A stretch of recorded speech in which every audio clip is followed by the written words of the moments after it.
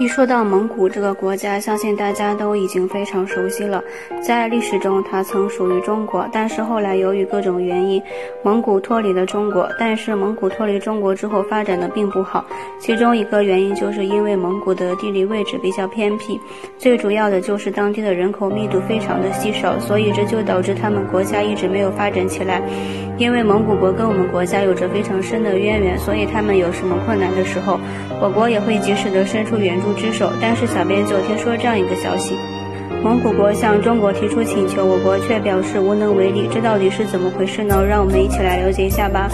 蒙古当地的主要经济是靠畜牧业发展的，但是他们并不满足于这方面的发展，于是就开始变卖一些矿产资源，比如说石油、煤炭等资源，这样就可以让他们迅速的提高经济。但是他们却用了最低价的手法，并没有对资源进行加工就直接出售，所以他们赚取的利润都是非常少的，导致当地的物价上涨得很快，